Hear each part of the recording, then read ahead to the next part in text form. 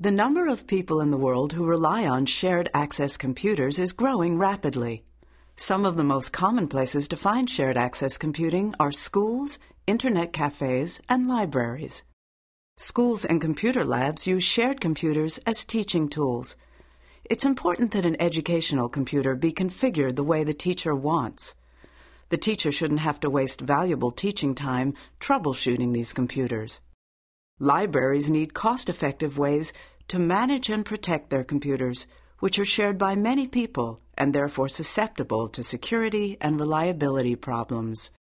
Internet cafes and kiosks depend on a business model that provides reliable computer access to customers without high overhead costs to acquire and maintain shared computers. Shared access computing is even found at home where children and adults will sometimes use the same household computer. Shared access situations like these present some special challenges.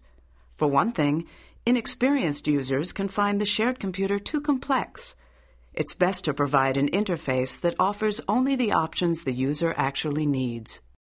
There's also the danger that a change made by one user, either accidental or mischievous, will interfere with the next user's experience.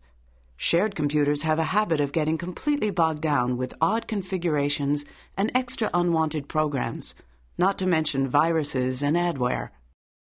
The job of troubleshooting problems on a shared computer doesn't always fall to a person who is a trained IT professional.